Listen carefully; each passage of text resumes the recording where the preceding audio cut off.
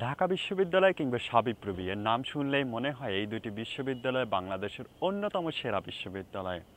হয়তো চান্স পাওয়া তুলনামূলক বেশি কঠিন। মজার বিষয় এই দুটি বিদ্যাপীঠে লিখিত পরীক্ষায় কম মার্কস নিয়ে চান্স পাওয়া সম্ভব। বিগত পরিসংখ্যান থেকে দেখা যায়, ঢাবিতে বিজ্ঞান বিভাগে লিখিত পরীক্ষা অর্থাৎ এমসিকিউ পরীক্ষায় একশো বিশের মধ্যে সত্তর পেলেই তুমি কোনো না কোনো সাবজেক্ট পাবেই। যদিও বছরভেদে বিষয়টি সামান্য কম বেশি হয়। সাবিপ্রবির যে কোনো বিভাগে সত্তরের মধ্যে পঁয়ত্রিশ পেলে তোমার চান্স অনেকটা নিশ্চিত। অর্থাৎ পঞ্চাশ ভাগ মার্কস পেলেই তুমি তোমার স্বপ্নের বিশ্ববিদ্যালয়ে পড়তে পারছ। কনসেপ্ট নির্ভর পড়াশোনা, প্রতিটি টপিক সমান গুরুত্ব দিয়ে দেখা এখানে খুবই গুরুত্বপূর্ণ। এবার জিপিএ এর কথায় আসি। বন্ধুদের মধ্যে তোমার সবচেয়ে কম জিপিএ জিপিএ চার ছোঁয়া ছোঁয়া ভাব কিংবা কোনো রকমের চার পেরিয়েছ।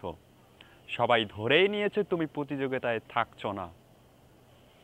ঢাকা বিশ্ববিদ্যালয়ে সাধারণত প্রতি বছর জিপিএ পাস পাওয়া শিক্ষার্থীদের থেকে জিপিএ চার পাওয়া শিক্ষার্থীরা চান্স পায় বেশি। চার দশমিক দুই পাস নিয়ে আমার ডিপার্টমেন্টের বন্ধু ঢাবি এবং সাবিপ্রবি দুটিতেই ভালো করেছে। সে সাবিপ্রবিতে সবগুলো ইঞ্জিনিয়ারিং সাবজেক্ট পেয়েছিল। ফ্রেন্ড সার্কেলের ষোলো জন বন্ধুর সবাই যেখানে জিপিএ পাস নিয়ে কোনো বিশ্ববিদ্যালয়ে পাশের দেখা পায়নি, সেখানে আজ ডিপার্টমেন্টের অন্যতম topper. Three point eight seven নিয়ে সাবিপ্রবিতে একশো আটতম হয়ে পলিটিক্যাল স্টাডিজে পড়ছে আমার এক ছোট ভাই। তুমি কি হবে? তোমার ফলাফল নিয়ে তা অন্য কেউ ঠিক করে দেবে না। ঠিক করবা তুমি নিজেই। ভালো ফলাফল করা অবশ্যই ভালো, আমি স্বাগতম জানাব। কিন্তু খারাপ করা কখনোই খারাপ নয়। এবার প্রস্তুতি নিয়ে আমি আমার দিক থেকে সর্বোচ্চটা দিচ্ছি কীভাবে কনসেপ্ট ক্লিয়ার করবে। পদার্থবিজ্ঞান, প্রথমেই সূত্র নোট সাজিয়ে নাও। জানা, অজানা, সহজ, কঠিন সব সূত্রই তুলে রাখো। যে কোনো দুইটি মূল বই যেমন ইসাক এবং তপন স্যারের বইয়ের অনুশীলনী এবং উদাহরণগুলো বুঝে বুঝে করো। যেসব বিষয় বুঝতে দুর্বোধ্য মনে হয়, সেগুলো স্কুল অফ হিডেন ট্যালেন্টসের পেইদের ইনবক্সে পাঠিয়ে দাও।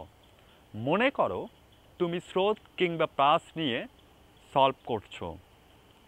এমনভাবে সলভ করবে, এমনভাবে বিষয়গুলো বোঝার চেষ্টা করবে, যেন গিয়াসুদ্দিন স্যারের বই থেকে তোমাকে একই টপিকের ম্যাথ দিলে তুমি পারো। গিয়াসুদ্দিন স্যারের বইয়ের উদাহরণগুলো করতে পারো। রসায়ন, রসায়নের ক্ষেত্রে একইভাবে সূত্রনোট প্রযোজ্য। তবে মেডিকেলের স্টুডেন্টরা যেভাবে পড়ে, অর্থাৎ বায়োলজির মতো, রসায়নেও তুমি কিওয়ার্ডগুলো লাল, নীল কলম দিয়ে দাগাতে পারো। কিওয়ার্ড সেই শব্দ, যে শব্দটি পড়লে তুমি পুরো লাইনটি বুঝতে পারবা।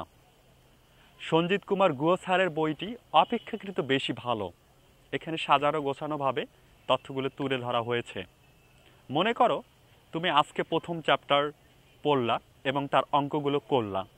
দ্বিতীয় দিন, দ্বিতীয় চ্যাপ্টার করার আগে প্রথম দিন, প্রথম অধ্যায়ের পড়া কিওয়ার্ডগুলো রিভিশন দিবা এবং পরীক্ষার সময় এই কিওয়ার্ড অনুযায়ী রিভিশন দিতে তোমার খুব সহজ হবে।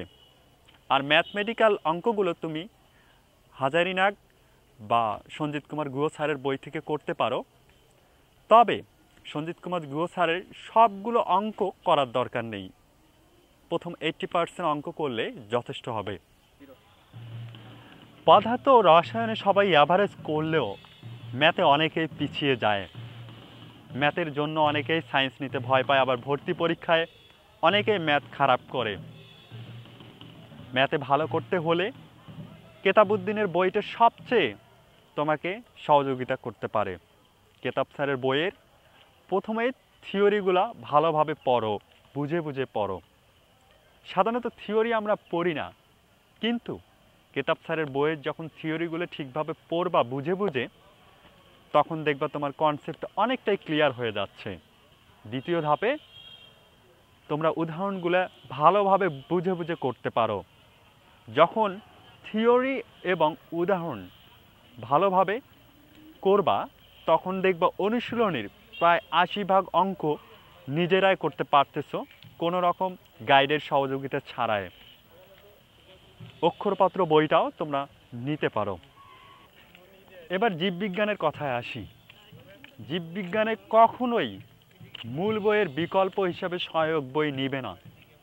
মূল বইটি লাল, নীল কলম দিয়ে সুন্দরভাবে দাগাবা।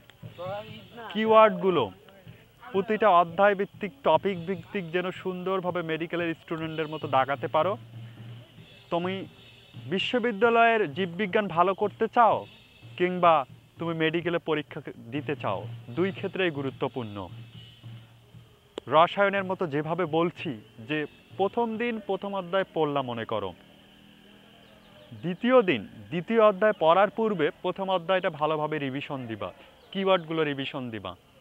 এবং ঘুমানোর আগে একজন হাফেজের মতো তুমি পড়াগুলো রিভিশন দিবা, চোখ বন্ধ করে।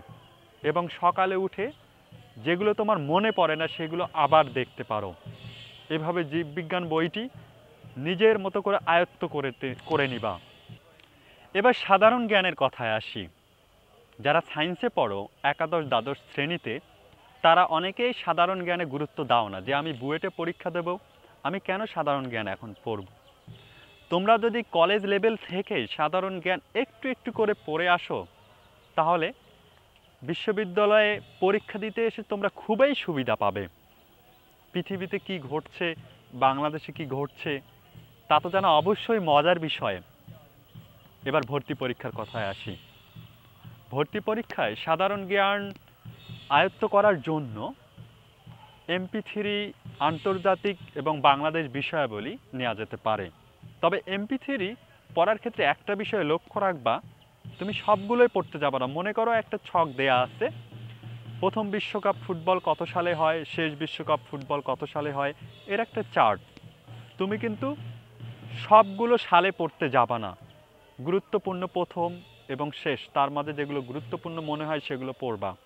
এবং অবশ্যই বিভিন্ন চাকরি, ব্যাংক ধরো, তারপর বিভিন্ন সরকারি জব এর যে বিগত বছরগুলো সেখানে দেয়া থাকে, সবগুলোই পড়বা। বিশ্ববিদ্যালয় তো আছেই। তারপর তুমি এর পরিবর্তে জোবাইর জিকে, অর্থাৎ জোবাইর ভাইয়া যে বইটা প্রকাশ করেছেন জিকে এর উপর, সে বইটা নিতে পারো। সে বইটা চিত্রের মাধ্যমে খুব সুন্দরভাবে তুলে ধরা হয়েছে। তবে জোবায়ের ক্যাপচুল এই বইটা অবশ্যই নিবা। এ বইটা খুব ভালোভাবেই তৈরি করা হয়ে থাকে এবং এর থেকে খুব ভালো পরিমাণ কমন পড়ে। পাশাপাশি ইউসিসি এর জিকে শিটটা নিতে পারো। এখান থেকে কমন পড়ার হারটা অনেক বেশি। অনেকে যারা বাইরের কোচিংয়ে ভর্তি আছো, তাদের ক্ষেত্রে বলব ইউসিসি লাইব্রেরি ফার্মগেটে আছে। তারা ওই লাইব্রেরি থেকে তুমি জিকে শিটটা কালেক্ট করে নিতে পারো। ইংরেজি এই সাবজেক্টটি অর্থাৎ তোমরা যারা ডি ইউনিট কিংবা বি ইউনিটের প্রিপারেশন নিচ্ছ শুধুমাত্র ইংরেজির ক্ষেত্রে সমুদ্রের মতো প্রিপারেশন নিতে হবে তোমাদের।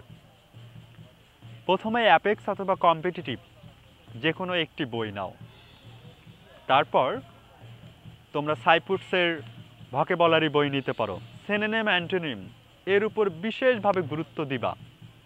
সর্বোপরি কথা হচ্ছে ইংরেজির উপর তোমরা মিনিমাম চারটা পাবলিকেশনসের বই পড়বা। ফোকাসের ইংরেজির উপর শিটগুলো খুবই ভালো মানের। সেনেনেম অ্যান্টোনিমের ক্ষেত্রে খুব ভালো পরিমাণ কমন পড়ে। বাংলা। বাংলার ক্ষেত্রে অবশ্যই পাঠ্য বইটি সাথে রাখবা। আর নবম, দশম শ্রেণীতে যে বইটি ব্যাকরণ পড়ে আসছিলাম, মূল বই, তার কথা তো মনে আছে। সেটি এখন সংযুক্ত করবা পড়ার মধ্যে। আর প্যারাগন সিরিজের বইগুলো সবচেয়ে ভালো বাংলার ক্ষেত্রে। তোমরা এই বইগুলো নিতে পারো। বাংলার ক্ষেত্রে অবশ্যই সকল বিগত সালের প্রশ্ন সলভ করবা।